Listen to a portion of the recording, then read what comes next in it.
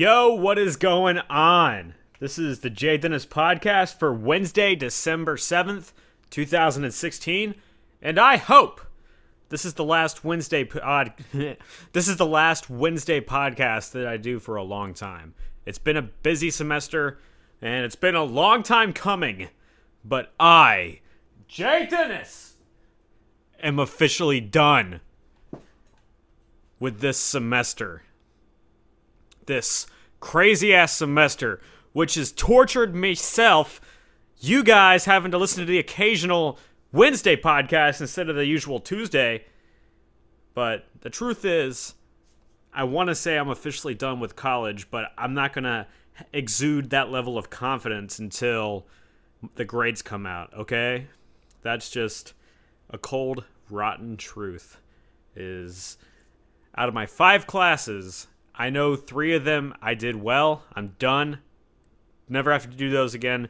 But my two finance classes that I took this week, uh, the two uh, finals, I'm on the fence about those. Now, I have a good relationship with both professors. I'm positive I'm going to pass and do fine, uh, do well, and I'm going to graduate.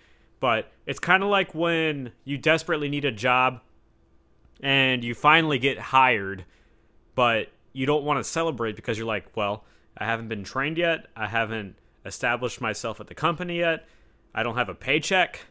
So it's like, yeah, I got a job, but is it really time to celebrate yet? So, I think it's safe to say that by the next podcast, which will be out on Tuesday, that will be the one where you just hear me. You just you just turn on the podcast and you just hear, Yes! It's over! You know? But I can't do that yet.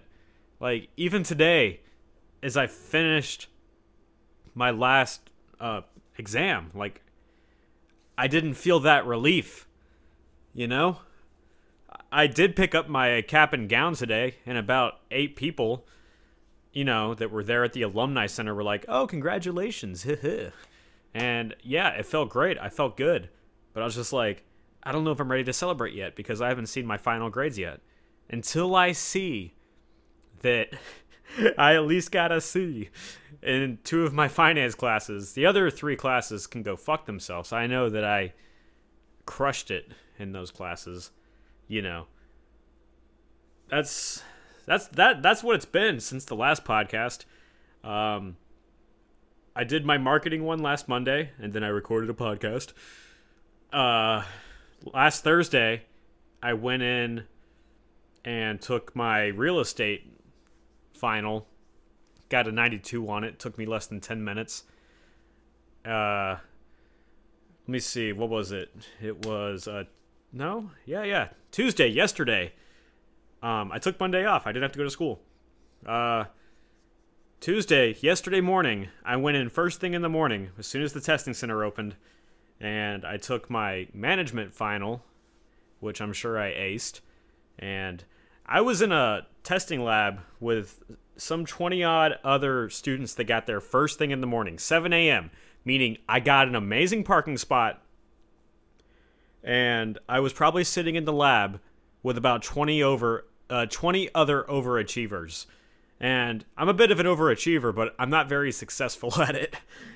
Anybody can be anybody can be an overachiever, but uh, of course you could be a failure at it. That's kind of what I've been this semester. I've done way better in my academics, but still not like straight A's 4.0.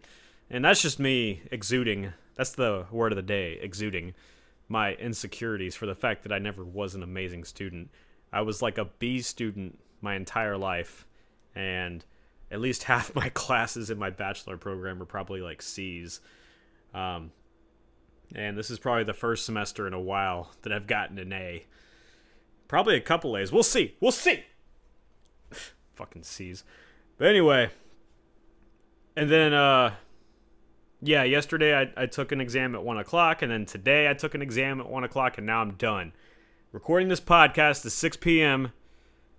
Uh, Wednesday evening, you know, December 7th, 2016. And what else is there to talk about besides the fact that I'm done with school? This excuse is like gonna be out of my life, you know. I really hope next week I just end up saying, oh man, all that worrying I did was for nothing. You are going to graduate. You got your cap and gown. What kind of professor is going to stand between you and your bachelor's degree? Just because you didn't perform so well in an exam. That was the problem with both of my finance classes was I did not hit the ground running with them, but they both had projects. I did well on the projects. I did well on the second exams. And now for the finals, I'm kind of on the fence about how I did. So like the whole thing's in a balance just because I didn't perform well at the very beginning. You see, if you hit the ground running in a class, you're more likely to succeed. That's why I, I had no worries about my other classes. But, all right, enough of that bullshit. As you probably noticed, I'm back on my good setup. I was like, what am I going to do with my life? I don't have any homework. I don't have any shit to do. And I'm like, oh, yeah, that's right. You got seven people out there that you need to entertain, possibly, with your goddamn podcast, which probably lost some momentum and lost some quality during the course of this semester. But I promise you, it's going to come back full force. You know, starting now. Starting. Go! And, you know, if I don't have at least at least once a month if a neighbor doesn't come banging on my door saying, you know, why are you screaming? And why do they talk like that? I have no idea. But it just it adds some flavor profiles to this uh ever so bland podcast. But what else is up? Um, my name is Jay Dennis. I am the lead singer slash main only project person in my band Raptor Riot. It's nu metal. Are you a fan of old school 90s hip hop, rap, slash metal, nu metal, rap metal, rap rock, a little bit of alternative? You know, Limp Bizkit, Crazy Town, freaking old school Linkin Park, Papa Roach, Korn, Deftones, Primer 55. You know? That's what we're all about. Yeah. Look at that. No background sound. You know why? You know why? Because I got three new appliances installed over the course of the last week and a half, maybe. Yeah. I have a new refrigerator that doesn't fucking leak. I'm just waiting on that goddamn ice maker again. Why can't I have a fridge that doesn't have an ice maker? The fucking guys that deliver it say it was an error on maintenance's part, and then maintenance says it was an error on the delivery guy's part. It's like, I don't give a fuck! I just want my goddamn ice maker so that I don't have to make it analog anymore manually. You know? Also got a new dryer that doesn't go. You probably, over the course of this podcast, you know, and what? What's it been? Let's see. It's been about eight, maybe eight months. I started this in March. Eight months. You may have occasionally heard a dryer on in the background. And if you ever heard a, that was my fucking dryer. My new one doesn't do it. The maintenance manager went through my apartment and said, dude, these appliances are ancient. Like, I didn't even have to beg. It's just like, dude, can you just replace all my appliances? They suck. My dishwasher doesn't wash dishes. My dryer takes multiple times to dry my shit, probably spending way too much money on energy. And in the midst of all that appliance replacing, all these people coming in my apartment, moving stuff, replacing stuff, all that good stuff, the light outside of my door that leads outside, the light, the outdoor light, has been unable to be replaced for the last two fucking weeks. I don't know what it is. I've given up on it. It's probably what they want. But I have become that bitchy tenant that just like has to be on top of everybody and I've had to let the manager of the apartment have it. But it's like this is just a really shitty community. Like there's some good people that live here. There's I have some good neighbors and even some of the people that work here, like some of the maintenance guys, some of the leasing agents or whatever, like they seem like good people. But it's just like there are assholes that drive through here like like maniacs, ignoring stop signs, driving way too fast, like kids and animals are out playing in the street sometimes. And some asshole keeps hitting the gate. It's a gated community, but more than half the time, the gate's fucking broken. So it's like, what's the point? I don't know, but we're only gonna live here for another seven months or so. Getting the fuck out of here. This is. And again, as I've said on a Jay Dennis YouTube video, I will reveal where the fuck I live so I can tell you to never fucking move here. And anytime I see new people like trying to apply to live here, I'm just like, dude, don't fucking live here. Like, unless you're like me and you absolutely need like a convenient location that's equidistant from work and school, and that's the only reason you live here for the sake of convenience, don't ever fucking hey, listen, listen, listen here, asshole. Don't fucking live here. If You know what's good for you. You're not gonna fucking live here, okay? You get the fuck out of my sight. And of course, I do that out of love, you know? Poor kid. Uh But yeah, that's that's really wait, wait. I didn't even write any notes for this episode. I got done with class. Uh I put up a new video on my YouTube channel, which is the only place where my podcast is right now. Um, my cat wasn't feeling well a couple weeks ago. Her colon was all backed up, and we finally managed to get a fresh stool sample to take to the vet. She's fine now. She's been cool for the past two weeks. You know, we gave her antibiotics, some laxatives, and she finally took an epic shit. And it was like, when when when you love an animal and they're not feeling well, and like they need to poop, like her colon was backed up, so she wasn't able to digest stuff, so she kept throwing up. It's sad. So when you finally see that like this animal that you love dearly that you would protect with your own life eight times over just take the most massive epic shit, it just brings so much joy to you, you know?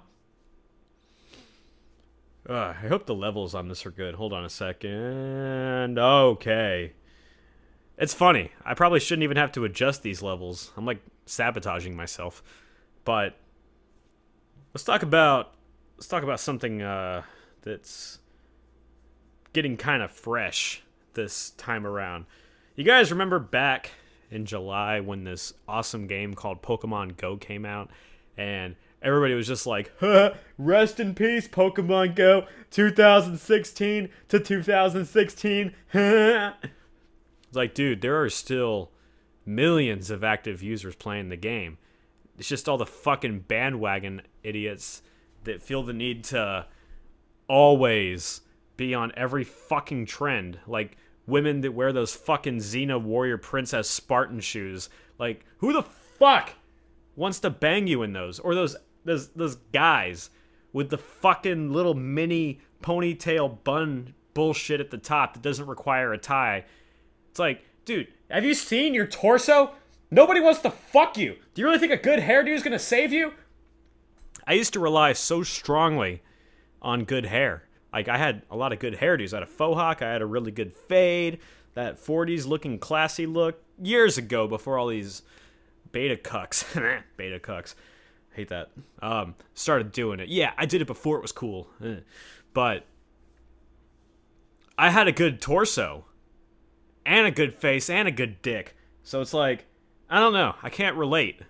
I've never like my torso is decent right now, but it's not as bad as some of these guys that just rely on, huh, maybe if I wear boat shoes and tie up the top of my hair, which is barely long enough to put into a bun, and uh, wear Adidas tracksuit pants that don't really highlight my good legs. I don't know what it is about Adidas. Like, 2016 really did bring back a lot of 90s nostalgia and goodness. Like, Adidas really came back like tracksuits, those were big in the 90s and now they're big this year. Like every fucking person wears them now. All ages. You know what I'm saying? But like it's it's either people just have worse bodies, which wouldn't surprise me, or there's something about the way that the the pants are stitched. It looks like it gives your legs no integrity at all. Like it's really hard to look flattering in those Adidas tracksuit pants. And sometimes I feel that way. But I think I have some sort of definition and muscle in my legs, so that might be a saving grace. Like, you're supposed to be athletic to a degree to wear goddamn tracksuit pants. You can't just be some fat fuck and thinking that you're cool and you're gonna get laid by wearing tracksuit pants when you never ran a goddamn mile in your life! Sorry. Um. Oh, yeah, so I was gonna talk about Pokemon Go. Yeah, so as you know, if you've if you've played it consistently, they've had a couple of events. You know, uh, Halloween, Thanksgiving, they did some cool shit. Uh, they've made the updates. They made the game more fun to play. They've made it more user friendly. Uh, I've been going to a lot of. Uh, I've been going to a lot of nests, nests, nests. I've been going to a lot of nests and uh, consistent spawn points. It's not always clusters of Pokemon that pop up, but I did go to a Squirtle nest today, and that was the first actual nest where like shit just kept popping up, and there was actually a cluster of four of them at one point. It was fucking awesome. I went to a Charmander nest yesterday, but it, no clusters came up. It was just I had to walk around this lake, and a bunch of just single ones would come up. But I would say I caught about I don't know six or seven Charmanders and then today, oh, fucking today, I caught like 12 Squirtles. So I finally have a Blastoise now. And I made sure that I didn't evolve a weak Wartortle. I took a high IV, uh, uh, uh, a Squirtle with good stats, and I evolved it twice. So, unfortunately, my Blastoise, his move set is Bite Hydro Pump, which is pretty good. It would be better if it was like a water move, quick attack, and then hydro pump, but bite's still pretty good. Just don't know who I'd use it against. Because I'm not going to fucking bite Exeggutor. Maybe it'll be good against Ab uh, an Alakazam or something. Yeah, there's that, that that that's one to grow on. Um, I'm trying to think what I want to do after this podcast. Do I do I want to go back to that Charmander nest? Like I just want to fucking relax. Like, I don't have to do anything. I can get back to working out consistently. Um, I've been looking for a job or an internship or something. I'm trying to get promoted at my seasonal job. So I just fuck. Sorry, sorry about that. I, just, I bumped the wire, and uh, I didn't actually go to adjust it like some cool, you know, radio guy and be like, Ugh. I actually accidentally bumped it, and you guys suffered. So, uh, sorry. Um, I don't know. But if you go on the silphroad.com, Silph, like, you know, the company from the original game, the Silph Scope, which you got to use on that cool looking ghost silhouette to see fucking Marowak or to identify ghost Pokemon. And the uh, Lavender Town Tower. So, yeah, go on the silphroad.com and, you know, share your location and you will find nests, spawn points. Some are verified, some are unverified. People go there to uh, refute it or to confirm it. But because of that website, I have found a Machop nest, which has led me to get Machamp. I have found a Shellder nest, which unfortunately I only caught four that time. I still haven't gotten a Cloyster yet, and a migration happened, so I haven't found Shellder ever since. Um, Charmander, and then Squirtle. The most successful one being Squirtle. So, basically, at this point, like, this is great. It's taken me months of, like, active playing, but I don't always go to super populated areas, even though I live in a metro area. but all the people that live in Orlando have told me to go to this park in Kissimmee, that's where you catch everything, but I still have yet to go to there. And there are people that have completed their Pokedex months ago, or nearly completed it, to all the Pokemon that are currently available.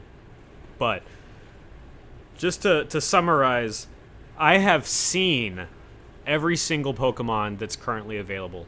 And part of that is luck. So, somebody either GPS spoofing or somebody from Asia and Europe coming over here and putting a Mr. Mime and a Farfetch'd and a Kangaskhan on a gym, and then me seeing it, I have them in my Pokedex now. Still haven't caught Tauros, but I've at least seen them. fucking and I've caught. Okay, so I've seen 146, and we all know that there's 151, but the missing five are the three birds and Mewtwo and Mew. So I've seen 146, which is all of them right now, and I've caught 137. I'm missing Charizard because Charmander is the least frequent starter that I see. I would say for every Charmander I see, I see about 20 Bulbasaurs. Um, I need Farfetch'd. I need Dewgong, Cloyster. So I need to find Seel and uh, Shellder nests or hatch them or something. But I'm more than halfway there to getting them. I need to hatch a Hitmonlee. And I'm like one Dratini away from getting a Dragonite. But the truth is, I don't... I'm not quite sure if I have a... Well, let me check. I have if I have a Dragonair that I want to evolve, like, okay, here's my Dragonair. What are his stats? Okay, he's not weak, but he's not top tier. He's he's strong. So if I wanted to put a good gym defender of a Dragonite up there, I might have mixed feelings about it. But and right now I'm working on saving up a bunch of coins to buy uh nine incubators or eight incubators so that I can just fucking hatch all these eggs, you know? I haven't bought an egg incubator in a hot minute. And uh, during the Thanksgiving event where we got double XP, I got more than halfway to uh, being done with level 29. I was trying to get to level 30, but I just, I didn't get enough done. I didn't catch enough Pokemon to, like, use a, an egg and, like, you know, Pidgey, Weedle, Caterpie grind my way through a bunch of XP. But right now I have Porygon as my buddy, so that when Generation 2 comes out, I can be closer to uh, getting a Porygon candy, you know? Uh, getting Porygon 2. Because I've only ever hatched one Porygon. I've never seen them in the wild and I've hatched two Aerodactyls. I hatched a 10k egg yesterday. I think I said pterodactyl in a video or a podcast recently, and I was just like, oh, you idiot, it's Aerodactyl. Wait, hold on, I gotta triple check this shit now. Yeah, Aerodactyl. Yeah, I've hatched two of them. I hatched one yesterday, and I was hoping it'd be Hitmonlee, and I'm like, please be something good, please be something good. And it was Aerodactyl. I'm like, well, this is actually rare as fuck, so I'll take what I can get. I, I will get Hitmonlee at some point. I've, uh... I've, uh... I've hatched two Hitmonchans, so... Anyway, is there anything else I want to talk about? Um... Guys, this is basically it. I'm done with school. I'm hoping by the next podcast I can say that I've celebrated the fact that all my grades have been posted and they're all good, and I can graduate in peace okay? This semester is fucking done. I wiped off my dry erase board, which I initially had all five of my classes up there, and I posted every major test, assignment, project, and I put the dates, and then I'd put another column for coming, it would say coming up, meaning I always knew what the next big thing was so that I could prepare for it. Because I'm a very visual guy. And I have a day planner, so I was very on top of shit this semester but, you know, I still performed weekly occasionally. Performed weekly, not, you know, days of the week, but like weak, opposite of strong, you know. Not power lifter, but crossfitter. I performed weekly in some regards. But I also excelled better than I have ever during my bachelor program. So I'm hoping by the next podcast I can say it's a wrap. I'm fucking done and then it'll be three days before I actually graduate. My my ceremony's on the 17th, like next Saturday. But anyway, I'm Jay Dennis. This was the Jay Dennis podcast. I do one every Tuesday. This shit's about to get better. I'm gonna start as soon as I find a new job, because now I can work now that I'm not in school. As soon as I find a new job, I'm gonna start investing in a lot of, of new shit. A website, getting this podcast on iTunes, doing the podcast even better, getting some new artwork, all that shit. Um, new music for Raptor Riot. Again, go to raptorriot.bandcamp.com. The one thing I have on sale right now is my is the digital copy of my EP, Raptor Riot Sabotaged. If you're a fan of 90s nu metal, early millennium, you know, alternative nu metal, it's got three original three original tracks very strongly resembling old school nu metal, and then it's got a cover of Limp Bizkit. If you want to just download that cover for free, it's up for free right now. The whole EP costs $2.99. Any anything is great. All right, guys. Thanks for listening. Please subscribe to my YouTube channel. That is where the podcast currently is. It's got its own channel, the Jay Dennis Podcast. And I think 25 minutes is enough of your life wasted. Talk to you next week.